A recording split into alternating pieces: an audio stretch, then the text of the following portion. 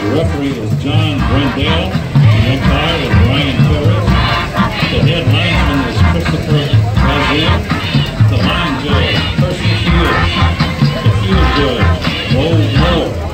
The side judge, Chris Brendale.